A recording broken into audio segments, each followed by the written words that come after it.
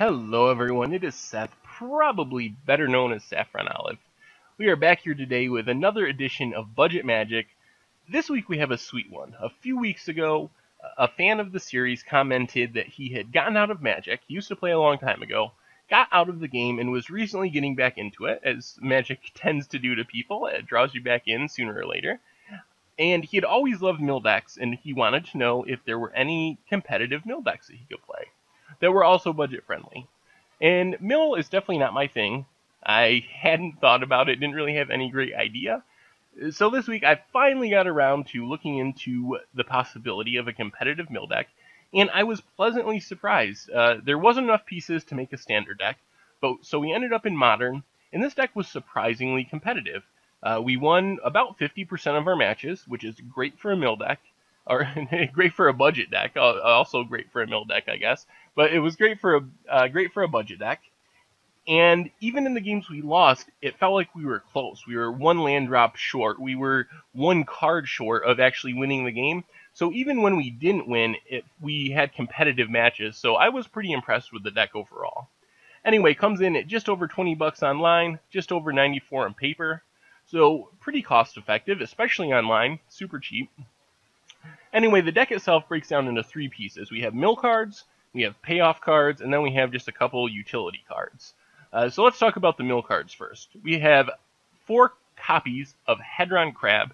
One blue mana, you get a 0-2 with landfall, that whenever a land enters the battlefield under your control, you can mill three. So this is just a repetitive source of mill. It also is awesome with fetch lands. As you can see, since we're budget, we don't get to play Polluted Delta, don't get to play Flooded Strand.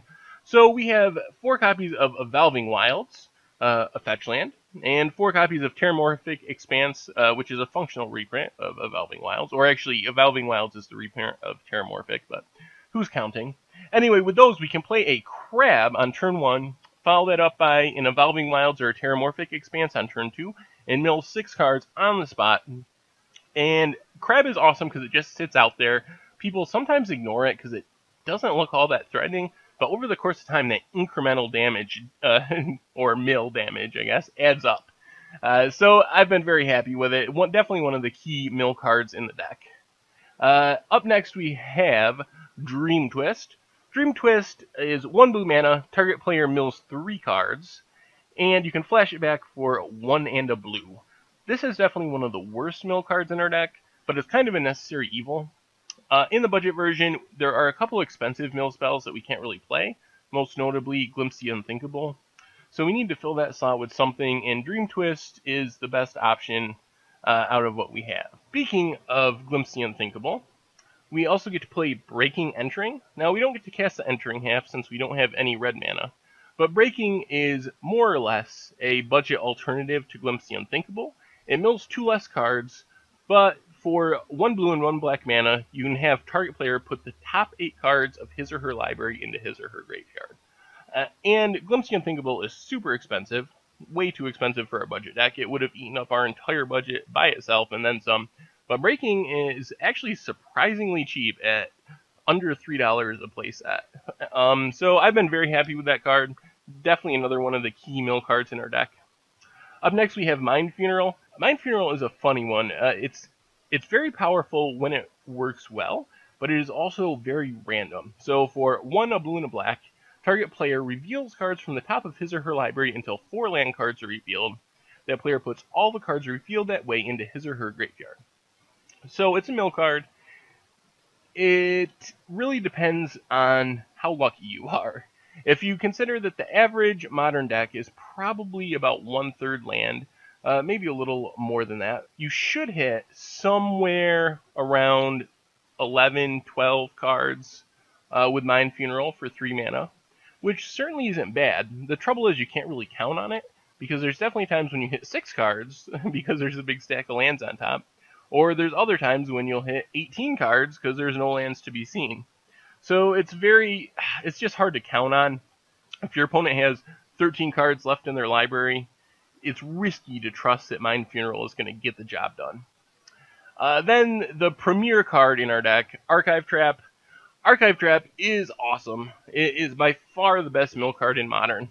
Uh, basically, It is 3 and 2 blue, and it mills 13 cards. So the rate is solid, but the real key is if an opponent is a trap cost. So if an opponent searches their library, and fetch lands, of course, search libraries, you can pay zero for Archive Trap.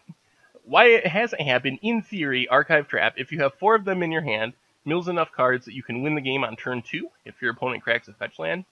Uh, but this is just really where you want to be. It creates this weird subgame. If you play Legacy, you'll see people try to play around Stifle by cracking their fetches at certain times. Archive Trap, once your opponent knows about it, kind of does the same thing for Modern. Really makes them think about when they crack their fetches because they always have this fear that you're just going to mill 13 or 26 cards out of nowhere and destroy them. In fact, Archive Trap is so good, we get to play a copy of Trapmaker Snare, which is one in a blue for an instant, which tutors for a trap card. So in our main deck, Trapmaker Snare is basically just the fifth copy of Archive Trap. That's how much we want Archive Traps, as we're willing to play Trapmaker Snare as a fifth copy. Um, then we have Thought Scour. That's our final mill card. You might not really think of Thought Scour as a mill card because we're used to milling ourselves with it. It's a way to cycle, fuel the graveyard for Delve or Snapcaster but it is a mill card. You can uh, and it replaces itself, so it's pretty powerful. Only milling two cards isn't great, but the fact that it doesn't cost you a card makes it worthwhile. You get this like slight benefit of milling two cards while you still get to draw a card, so it doesn't really cost you anything. The payoffs in this deck are sweet. One of the examples I like to use for mill decks, and if you read through the article on this deck, you'll see it comes up in there a lot, is that a mill deck is a lot like a burn deck, uh, except all of your burn spells are overcosted. Like they just don't compare. There isn't a lightning bolt. Uh, since milling one card is only one third as powerful as damage, since you start with 60 cards in your library versus 20 life, there is no lightning bolt. A lightning bolt of a mill spell would be one mana, mill nine cards. There's nothing that comes close to that. So the reason to play a deck like Mill over a deck like Burn, which is really similar in strategies actually when you think about it, is that we get these payoff cards in Mill that that Burn decks just don't get. Payoff card number one, Jace's Phantasm. It's a one mana dragon, basically, in our deck. It's a one mana one, one flying, so a flying men. But if an opponent's graveyard has 10 or more cards in it, it gets plus 4 plus 4. So it's a 5 5 flyer for 1 mana. And in our deck, we can pretty consistently do this on turn 2. Uh, definitely by turn 3. So it's just a huge undercost beater. Uh, and it shuts down basically everything. Blocks and trades with Tarmogoyf most of the time. All that for one mana. And we're not doing anything our deck doesn't want to do to fill, uh, fuel it up. So we're not playing crappy cards. We're playing all these mill cards that we want to be playing anyway, and Phantasm just happens to benefit from it. So that's payoff number one. Payoff number two, my favorite of the payoffs, Visions of Beyond. uh, in our deck, this is just Ancestral Recall in the late game.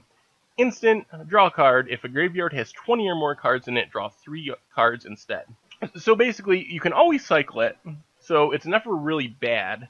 And then, after you cast a few mill spells, Visions just draws 3. They're easy to chain together. Uh, it's just, it's such a great way of refilling your hand. And I think it's in most of the games that we win, and uh, Visions from Beyond is a key part of it. Like drawing three for one mana is extremely powerful. Finally, probably the funniest of our payoff cards, Crypt Incursion. So for two and a black, get an instant that exiles all creatures from target player's graveyard, and you gain three life for each card exiled this way. I think my record with Crypt Incursion, uh, and it's in one of the videos, is gaining 54 life. And I can tell you 54 life is a lot. Like, uh, a lot of decks can't come back from that. The main idea is it gives us fringe benefits against some things like Bloodghast or Gravecrawler, where you can just randomly hose or dredge if someone's playing dredge. It just randomly hoses them main deck. But the main idea is it buys us three or four or five or ten extra turns from all the life game, which gives us a ton of extra time to draw into uh, more mill spells and win the game. Uh, finally, the kind of utility cards. Four copies of Doomblade, just removal spell, destroy target non-black creature. I think this was a mistake. I think these should be dismembers. As you can see, we have dismembers in the sideboard. These should just be flip-flopped. Should have the dismembers main in Doomblade or some other removal spell on the sideboard. But it's still fine. It's just a way to kill something we need to kill. Uh, in the lands, we have four island or seven islands. Uh, the four evolving wilds, two terramorphic expanses we already talked about, four copies of Swamp, and three Shelldock Isle. Shelldock Isle is a sweet one. It's a hideaway land, so when it comes into play, you look at the top four cards of your library, and you get to exile one of them. And then when a certain condition is met, you can pay one blue mana and cast the card you exiled. For Shelldock Isle, the condition is a library having 20 or fewer cards in it. Uh, it does enter the battlefield tapped, but it also adds blue mana, so it's just a really low opportunity cost, uh, powerful card.